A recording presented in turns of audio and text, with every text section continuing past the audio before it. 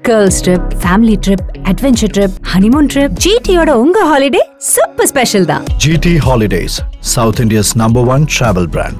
You know your special when you with GT holidays ஏன்டா இதெல்லாம் ஆறு பண்ணது? நான் தான் பண்ணேன்.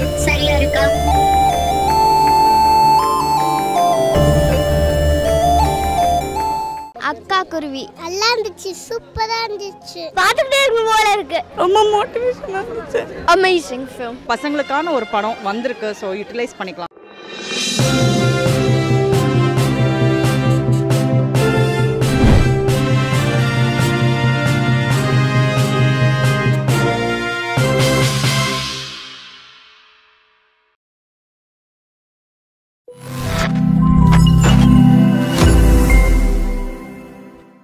எத்தனை கோடி கொடுத்தாலும் சாயங்காலம் ஆறு மணிக்கு மேலே ஷூட்டிங் ஸ்பாட்டில் இருக்க மாட்டாங்கிறது விஜயுடைய கொள்கை. ஆனால் அஜித்தினுடைய கொள்கை வேற மாதிரி இருக்கு. என்ன? இப்போ அஜித் வினோத் இணைகிற படம் வந்து ஹைதராபாத்தில் அஜித் வினோத். ஷூட்டிங் போயிட்டு இருக்கு. அந்த படத்தில் பார்த்தீங்கன்னா ஒரு பெரிய ஆச்சரியம். காலையில் ஒரு ஒம்பது மணிக்கு ஷூட்டிங் ஆரம்பிச்சாங்கன்னா நைட்டு பன்னெண்டு மணி வரைக்கும் போதும். ஐயோ ஆ, அஜித் வந்து அவ்வளோ கோஆப்ரேட் பண்ணிட்டு இருக்காராம். அப்புறம் சில நாட்கள் என்ன பண்ணுறாங்களா மத்தியானம் ஒரு ரெண்டு மணிக்கு ஆரம்பிக்கிற ஷூட்டிங் நைட் ரெண்டு மணி வரைக்கும் போகுதாம். கிட்டத்தட்ட அது மாதிரி ஒரு பதிமூணு நாள் எடுத்திருக்கிறாங்க. இது வந்து அஜித் அவ்வளோ கோஆப்ரேட் பண்ணுறாருங்கிறதே ஒரு பெரிய செய்தியாக இது வந்து ஒரு குறுகிய கால படைப்பாக தான் பண்ண போகிறாங்கன்னு தகவல் வந்துச்சு. ரெண்டாவது நாங்கள் ரெண்டு மணியில் ஆரம்பித்து ரெண்டு மணிக்கு முடிக்க போகிறோம் காலையில் ஆறு மணிக்கு ஆரம்பித்தோம் நைட் ரெண்டு மணி வரை முடிக்க போகிறோம் ஏற்கனவே அஜித்துக்குலாம் சொல்லியிருப்பாங்க. சொல்லியிருப்பாங்க. இல்ல, அது மட்டும் இல்ல கதையே அவருக்கு தெரியும்ல. படத்தோட கதை பார்த்தீங்கன்னா இந்த பேங்க் கொள்ளையை பத்தின கதை. அப்போ அவங்க வங்கி கொள்ளைனாலே உங்களுக்கு ராத்திரி நேரத்தில் தானே பண்ண முடியும். அப்போ தானே வெல்டிங் மிஷினை எடுத்துட்டு போய் அந்த லாக்கரெல்லாம் உடைச்சி எடுத்து. ஸோ அந்த காட்சிகள்லாம் நைட் எஃபெக்ட் தானே. அதனால இருக்கும்னு நினைக்கிறேன். அதுக்கப்புறம் நீங்க விஜய் பத்தி சொன்னீங்கல்ல அதுக்கு முக்கியமான காரணம் அவருடைய பாலிசிங்கிறது ஒரு பக்கம். இன்னொரு பக்கம் அந்த விஜய் அறுபத்தாறு படமே பொங்கல் ரிலீஸ் அதனால இந்த மாதிரி டே அண்ட் நைட்டை அடிக்க வேண்டிய அவசியம் இல்லை. அதனால ரிலாக்ஸாக எடுத்துக்கிட்டு இருக்காங்க. இதுக்கிடையில என்னன்னா விஜய் அறுபத்தாறு செப்டம்பர் வரைக்கும் ஷூட்டிங் போகுது. அதுக்கப்புறம் இந்த விஜய் அறுபத்தேழு இந்த லோகேஷ் கனகராஜ் இயக்குற படம் இருக்குல்ல அது வந்து அக்டோபர் மூணாம் தேதி பூஜை போடுறாங்க. அது என்ன அக்டோபர் மூணாம் தேதி? அதில் என்ன ஸ்பெஷலு என்ன ஸ்பெஷல்னா இந்த விஜய் அறுபத்தி ஏழு படத்தை தயாரிப்பது வந்து லலித் ஆமாம் இயக்குவது வந்து லோகேஷ் கனகராஜ். ஏற்கனவே இதே காம்போ தான் மாஸ்டர் படம் பண்ணாங்க. அந்த படம் பூஜை போடப்பட்டது இதே அக்டோபர் மூணாம் ஓ தேதி அந்த சென்டிமெண்ட் அதே சென்டிமெண்ட்டை வச்சு கரெக்டாக அதே நாள்ல இந்த படத்தை ஸ்டார்ட் உங்களுக்கு அவர் நண்பராக இருந்தாருன்னா கொஞ்சம் முன்னாடியே அந்த பூஜையை போட்டுருக்காங்க. ஏன்னா நடுவில் அந்த படத்தை பிடுங்குற வேலை ஒன்று நடந்துக்கிட்டு இருக்கு. என்னங்க அப்படி சொல்றீங்க? ஆமாங்க. கமல் வந்து பல ஹீரோக்களை வச்சு படம் எடுத்துட்டு இருக்காரு. சரி. வெவ்வேறு இயக்குனர்கள் அதை வந்து இயக்கிட்டு இருக்காங்க. சரி. அதுல வந்து விஜய் வச்சு ஒரு படம் பண்ணணுங்கிற ஒரு ஆசை அவருக்கு இருந்திருக்கு கமலுக்கு. இருக்கு. ஆமா. சரி. லோகேஷ் கனகராஜ் இப்போ விக்ரம் இயக்கிட்டு இருக்காரு இல்லையா? அவர்கிட்ட இவர் பேசியிருக்காரு. நீங்க தானே அடுத்து விஜய் வச்சு படம் பண்ண போறீங்க. சரி. அதை அப்படியே நம்ம கம்பெனியில் பண்ணிடுங்களேன் அப்படின்னு சொல்லியிருக்கிறாரு. உடனே லோகேஷ் கனகராஜுக்கு ரொம்ப ஹாப்பி அவரே கிளம்பி ஹைதராபாத்துக்கு போய் சரி. விஜய் கிட்ட இது சம்பந்தமா பேசுனதா ஒரு தகவல். ஆனா அது வந்து அநேகமா ஒர்க் அவுட் ஆகலைன்னு நினைக்கிறேன். ஆனா கமல் சொன்னாராம் இந்த படம் கிடைச்சா ஓகே இல்லைன்னா இதுக்கு அடுத்த படத்தை நம்ம பண்ணுவோம். விஜய் அந்த மாதிரி, 68. அதையும் நீங்களே பண்ணுங்க அப்படிங்கிற மாதிரிலாம் பேசியிருக்காரு போல இருக்கு.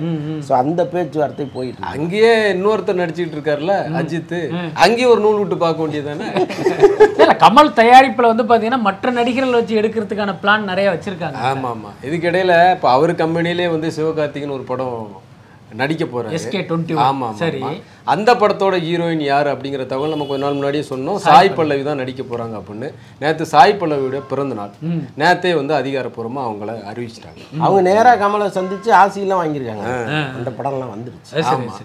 அப்புறம் அந்த அதே கம்பெனி என்ன இன்னைக்கு ஃபுல்லா கமல் கம்பெனி கமல் சம்பந்தமான நியூஸாவே இருக்குதே. சரி கமல் ஸ்பெஷலா இருந்துட்டு போட்டோம் ஆமா ஆமா. விக்ரம் படத்தோட ஆடியோ லான்ச் ஒரு மூணு ஏரியாவை பார்த்துக்கிட்டு இருக்காங்கன்னு சொன்னோம். மூணு ஏரியாவா? ஏதோ செங்கல்பட்டு சிட்டி சேலம் மாதிரி சொல்லிட்டு இருக்கிய.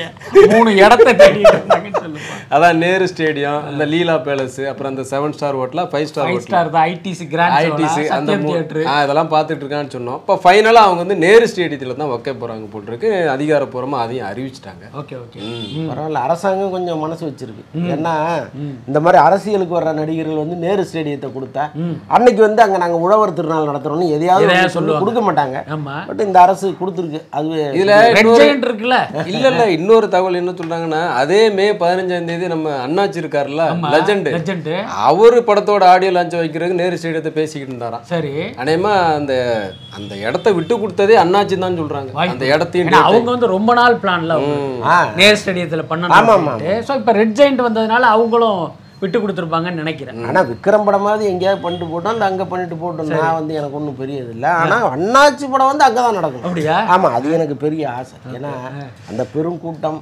அவருடைய அப்படி நடந்து அண்ணாச்சியோட என்ட்ரி ஆமா இவருக்கு வந்து ஒரு விவிஐபி பாஸ் வாங்கி கொடுத்து முதல் வரிசையில உட்கார வச்சு பார்க்க கண்டிப்பா நான் போவேன். சரி அது இருக்கட்டும் இப்போ இந்த நயன்தாரா விக்னேஸ்வன் திருமணம் ஜூன் ஒன்பது ஆமா ஆமா. இது வந்து ஒரு பக்கம் போயிட்டு இருக்கு இதற்கிடையில சல்மான் கான் வந்து நயன்தாராட்ட பேசியிருக்காரு. ஷாருக் கானோட அவங்க நடிச்சிட்டு இருக்காங்க. சல்மான் கான் பேசி நம்ம ஒரு படம் பண்ணலாம் அப்படிங்கிற மாதிரி அவர் பேசியிருக்காரு போல இருக்கு. அநேகமா திருமணத்துக்கு பிறகு அவங்க சல்மான் கானோட நடிக்கக்கூடும்னு சொல்றாங்க. பொதுவா நம்ம நிருபர்களுக்கு ஒரு பழக்கம் உண்டு. எந்த நடிகைக்காவது கல்யாணம் இன்விடேஷன்லாம் வைக்கிறதுக்கு போனாங்கன்னா அவங்கள்ட்ட நீங்க திருமணத்துக்கு பிறகு நடிப்பீங்களா? அப்படின்னு அதை கேட்பாங்க. கேட்பாங்க. ஆனா அப்படிலாம் கேள்வி கேட்டுறாதீங்க. அடுத்த ப்ராஜெக்ட் ரெடியா இருக்கு சொல்றதுக்காக தான் இதை நான் சொன்னேன் சரி. அங்க ஹிந்தி பக்கம் போயிட்டாங்கன்னா ஹிந்திலே அப்படியே டிராவல் ஆவாங்கன்னு தெரிஞ்சுதான் முன்னாடியே நம்ம அந்த கல்யாணத்தை பண்ணிடுவோமே வயசு வேற ஏறிட்டே இருக்குல்ல. அதனால சீக்கிரம் பண்றாங்கன்னு நினைக்கிறேன். சரி ரைட்டு. ஓகே. அதுக்கப்புறம் இன்னொரு தகவல் ஒன்று இருக்கு. என்ன அப்படின்னா இப்போ இந்த ரெட் ஜெயின் வந்து படங்களை வாங்கி ரிலீஸ் பண்ணுறாங்கங்கிறது ஒரு பெரிய சர்ச்சையாக ஓடிட்டு இருக்குல்ல. ஆனால் அப்படியே மெல்ல நாளாக நாளாக பார்த்தீங்கன்னா திரையுலகத்திலேயே இந்த ரெட் ஜெயண்ட் படங்களை ரிலீஸ் பண்ணுறதுக்கு ஒரு ஆதரவு குரலும் கேட்க ஆரம்பிச்சிருச்சு. என்ன காரணம்னா இந்த தியேட்டருக்காரங்க பண்ணுற அட்ராசிட்டி ரெட் ஜெயிண்டை பொறுத்த வரைக்கும் என்னன்னா படத்தை வந்து அவங்க தானே ஓன் ரிலீஸ் பண்ணுறாங்க அதனால இந்த தியேட்டரில் எதையாவது வந்து தப்பு தண்டா நடக்குதாங்கிறத ரொம்ப கண்குத்தி. கவனிக்கிறாங்களாம். அதில் பார்த்தீங்கன்னா ஒரு ரெண்டு ஆட்கள் வந்து மாட்டியிருக்காங்க. முக்கியமாக கோயம்புத்தூரை சேர்ந்த ஒரு பிரபல விநியோகஸ்தர்களுக்கு ஏகப்பட்ட தியேட்டர் வச்சுருக்காங்க. ஓகே. அவங்க என்ன பண்ணியிருக்காங்க? ஈடி ஈட்டினா எதற்கும் துணிந்தவன் அப்புறம் பீஸ்ட் எல்லாம் அவங்க தியேட்டர்ல தான் போட்டிருக்காங்க அதில் வந்து இந்த பர்டிகுலராக அந்த ரெண்டு பேருடைய தியேட்டரில் நிறைய முறைகேடுகளாம் இப்போ உதாரணத்துக்கு பார்த்தீங்கன்னா ஐம்பது அறுபது டிக்கெட்டை வந்து கணக்கிலே காட்டுறது இல்ல என்ன? ஒரு ஷோவுக்கு அறுபது ஆமா ticket ஒரு ஷோவுக்கு ஒரு நாற்பது ஐம்பது டிக்கெட் ஆ, நீங்க ஆ. கணக்கு பண்ணி பாருங்க. அதுக்கப்புறம் பார்த்தீங்கன்னா ஒரு நூற்றி தொண்ணூறுரூவாய்க்கு டிக்கெட் விற்றதா இங்கே கணக்கு காட்டிட்டு இரநூத்தி இருபது ரூபாய்க்கு விற்றுருக்காங்க ஸோ இந்த விஷயங்கள் எல்லாமே ரெட் ஜெயண்ட்டுக்கு ஆதாரபூர்வமாக தெரிஞ்சு அந்த சம்மந்தப்பட்டவங்களை கூப்பிட்டு நீங்கள் இப்படியெல்லாம் முறைகேடு பண்ணிருக்கீங்கன்னு ஒரு லிஸ்ட்டை கொடுத்து அந்த பணத்தை வசூல் பண்ணி ஒரு பெனால்ட்டியாக சில லட்சங்களை அவங்க கிட்டேருந்து இவங்க வாங்கியிருக்காங்களாம் என்ன? அதுக்கெல்லாம் இந்த மாட்டின திரையரங்கு உரிமையாளர் என்ன சொல்றாருன்னா ஐயோ எனக்கு இதுக்கு சம்மந்தம் இல்லை.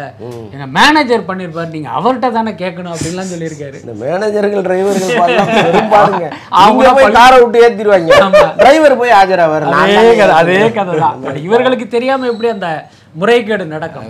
என்னன்னா இவங்க வந்து பெரிய யோக்கிய மாதிரி எல்லா விஷயத்திலையும் கருத்து சொல்லிட்டு இருக்காங்க. பார்த்தா இவ்வளவு பெரிய கோளாறுகள் நடந்திருக்கு. போன வாரம் ஒன்று ரெண்டு நல்ல படங்கள் வந்தது. அந்த ஒன்று ரெண்டு நல்ல படங்கள் லிஸ்ட்ல வந்து ஐங்கரன் படமும் சேர்ந்து இருக்கணும் துரதிருஷ்டவசமா அந்த படம் போன வாரம் ரிலீஸ் ஆகல. இந்த வாரம் பன்னெண்டாவது ரிலீஸுக்கு பிளான் பண்ணிட்டு இருக்காங்க. ஏன்னா என்ன பிரச்சனை நடந்ததுங்கிறது நீங்களே சொன்னீங்க சொல்லியாச்சு. ஆமா. இப்போ அந்த பிரச்சனையெல்லாம் சால்வ் ஆயிடுச்சுல அதுல வந்து ஜிவி பிரகாசம் வந்து மிகப்பெரிய உதவி செய்து செஞ்சிருக்கிறதா சொல்றாங்க. அப்படியா? ஆமா.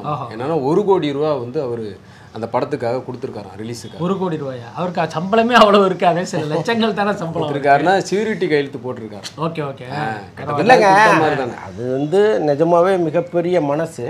ஆனா அதை தாண்டி அதுல வந்து ஒரு சுயநலமும் இருக்கு. ஏன்னா படத்துக்கு நல்ல ரிப்போர்ட் நல்ல ரிப்போர்ட்டு ஜிவிக்கு வந்து மிகப்பெரிய பாராட்டுகள் வந்து குவியும். அந்த படம் வந்துச்சுன்னா அடுத்தடுத்து பெரிய படங்கள் கிடைக்கிறதுக்குலாம் நிறைய வாய்ப்புகள் இருக்கு. அதனால வந்து இந்த படம் முதல்ல வரட்டும்னு நினைச்சிருக்கேன். நான் என்ன நினைக்கிறேன் அன்னைக்கு பத்திரிக்கையாளர்களுக்கு காட்சி போட்டாங்கல்ல. படம் பார்த்துட்டு நம்ம பிரஸ் ஆட்களே அவர்கிட்ட ஃபோனை போட்டு சொல்லியிருப்பாங்க படம் சூப்பரா இருக்கு அப்படின்ட்டு. அதனால அந்த கணக்குல கொடுத்துருப்பாரு போல இருக்கு. ஸோ மொத்தத்தில் பரவாயில்ல ஒரு நல்ல படம் வருவதற்கு உதவி பண்றது அவ்வளவுதான். நல்ல விஷயம் தானே? அப்புறம் என்ன இருந்தாலும் ரெண்டாம் கல்யாணமா இருந்தா கூட அதுவும் வந்து ஒரு சுப நிகழ்ச்சி தானே? கண்டிப்பா. அதனால ஒரு வாழ்த்துக்களோட இந்த செய்தியை நம்ம சொல்லிடுவோம். சரி. இந்த டி இமான் அவர் வந்து நடுவுல அவருடைய மனைவி விவகாரத்து பண்ணாரு. அடுத்து வந்து என்னடா அப்படி போயிடுச்சே? நல்ல பிரமாதமாக எல்லாரையும் கூப்பிட்டு கல்யாணம் பண்ணாரு. கடைசியில் இப்படி ஆயிடுச்சேன்னு நம்ம வருத்தப்பட்டுட்டு இருந்தோம். கடைசியில் அவர் இன்னொரு பெண்ணை திருமணம் பண்ணிக்கிறாரு. இந்த மாதம் பதினஞ்சாம் தேதி இந்த திருமணம் நடக்குங்கிற மாதிரி சொல்கிறாங்க அப்படியா? ஆமா. Okay okay okay. அதுக்கப்புறம் நேத்து நெஞ்சுக்கு நீதி ட்ரெய்லர் வெளியீட்டு விழா. இந்த ட்ரெய்லரை பார்த்துருப்பீங்கன்னு நினைக்கிறேன். உண்மையிலேயே பார்த்தீங்கன்னா இந்த ஆர்டிகல் 15 பிரமாதமாக அந்த மறு உருவாக்கம் பண்ணியிருக்காங்க ஆமாம். என்ன அது பார்த்தீங்கன்னா முதல்ல நமக்கு என்னன்னா இந்த கதையில் உதயநிதியா அட பாவிங்களாங்கிற மாதிரி தோணுச்சு. ஆனால் இப்போ அந்த ட்ரெய்லரை பார்க்கும்போது உண்மையிலேயே உதயநிதி அவ்வளோ ஃபிட்டாக இருக்கு. எல்லாம் டைரக்டர் கையில தானே இருக்கு. இல்ல இல்ல இன்னொன்று உதயநிதிக்கு வந்து அந்த இந்த நேரத்தில் அந்த பொலிட்டிக்கலாக அவர் வர்றாருல்ல ஸோ அவருக்கு வந்து ஒரு மிகப்பெரிய இமேஜ் பில்டப்பாக இருக்கும். ஆமாம் ஆமாம் ஆனால் அதுக்கு பின்னால் ஒரு கடைசியில் ஒரு டயலாக் வருது அதுதான் உனக்கு ஒன்றுமே புரியல. எல்லாரும் சமம் அப்படின்னா அப்புறம் யாரு? ராஜான்னு ராஜான்னு கேட்குறாரு அதோட அர்த்தம் தான் நமக்கு புரியல. இல்லை அதுக்கப்புறம் உள்ள டைலாக்கை நறுக்கியிருப்பாங்க. அது சரி ஏன்னா அவ்வளோ பெரிய இடத்துக்கு வர வேண்டியவர் அப்படி ஒரு டைலாக்கை வைக்க சரி சரி. ஸோ அதுக்கப்புறம் ஏதாவது பேசியிருப்பாரு. சும்மா இப்போ நீங்கள் பேசுனீங்கல்ல அதுக்காக ஒரு அந்த மாதிரி ஏதோ ஒரு ட்விஸ்ட்டுக்காக அப்படி வச்சு வச்சிருக்காங்க. ஆமாம் ஓகே ஓகே. அப்புறம் இன்னொரு விஷயமும் நடந்துச்சு. அதையும் சொல்லிடுவோம். இப்போ பொதுவாக சத்யம் தேட்டரில் ஒரு நிகழ்ச்சி நடந்ததுன்னா ஷோவெல்லாம் கேன்சல் பண்ண மாட்டாங்க. காலையில் ஒம்பது மணிக்கு ஆரம்பித்து பதினோரு மணிக்கு விட்டுருங்க அதுக்கப்புறம் எங்களுக்கு ஷோ இருக்குன்றுவாங்க ஆமா. பல ஆடியோ வெளியீட்டு விழாலாம் அப்படி தான் நடந்திருக்கு ஒருவேளை பத்து நிமிஷம் முன்னால போச்சுன்னா மைக்கெல்லாம் ஆஃப் பண்ணிடுவாங்க. அவங்களே நிறுத்திடுவாங்க யார் பேசிகிட்டு இருந்தாலும். ஸோ அப்படிலாம் நடந்திருக்கு. சரி. பட் நேற்று வந்து இந்த படத்துக்கு ஒரு ஷோவையே கேன்சல் பண்ணி கொடுத்துருக்குறாங்க. ஆமா. அது மட்டும் இல்ல நேத்து உதயநிதி உள்ள என்ட்ரிக்கு அந்த ஏரியாவே அல்லோல கலர்ல போட்டு போச்சு. அவ்வளவு அலப்பறைகள் பாத்தீங்கன்னா ஏதோ ஒரு பெரிய இது வர்ற மாதிரியான ஒரு இல்லை அவருடைய ரசிகர் மன்றத்தை சேர்ந்தவங்க எல்லாம் வந்துட்டாங்க அதுவும் கட்சிக்காரங்க கட்சிக்காரங்க ஆமா, ரசிகர் மன்றம் எங்க திடீர்னு அது வரப்போகுது. சரி. கட்சிக்காரங்க எல்லாம் உள்ள வந்துட்டாங்க. ஆமா. அதே நேரம் உள்ளுக்குள்ள என்ன நடந்திருக்குன்னா இந்த ரசிகர்களே ஆளுயர மாலைகளோட வந்துட்டாங்களாம். ம், ம். வந்ததுக்கு அப்புறம் உதயநிதி பார்த்துருக்காரு என்னப்பா இவ்வளவு பெரிய மாலையோட வர்றாங்கன்ட்டு இப்ப அவரே நைஸா மாலையெல்லாம் போட வேணாங்கிற மாதிரி சொல்லிட்டாரு. ஏன்னா இப்போ ஒருத்தர் போட்டா திரு திருன்னு எல்லாருமே மேடையில ஏறிடுவாங்களே. சரி இந்த மாதிரி வேலையெல்லாம் நடந்திருக்கு. இதுக்கு இடையில இப்ப சமீப காலமா ரெட் ஜெயிண்ட் தான் எல்லா படங்களையும் வாங்கி ரிலீஸ் பண்ணிட்டு இருக்காங்க ஆமா. ஆனா என்னன்னு தெரியல இந்த யானை படம்ல அருண் விஜய் ஹரி காம்பினேஷன் ஆமா. அந்த படத்தை மட்டும் அவங்க இன்னும் டச் பண்ணவே இல்லை. யானை. ம். என்னன்னு தெரியல. யானைனால டச் பண்ணலையோ என்னன்னு தெரியல. அதனால என்னன்னா இப்ப மத்த விநியோகஸ்தர்கள்லாம் அப்படியே உட்கார்ந்துட்டு இருந்தாங்களே என்னடா நமக்கு ஒரு படம் கூட கிடைக்க மாட்டேங்குது அவங்க போறப்ப யானை படத்தை வாங்குறதுக்கு கடும் போட்டியா. பரவாயில்ல அப்படியாவது ஒரு நல்ல வேலை கொடுக்க சொல்லுங்க. இந்த மார்கழி மாச குளிரே எதம் ஆனா அதுல மழை வந்து நனைகிறது தான் வாதம்.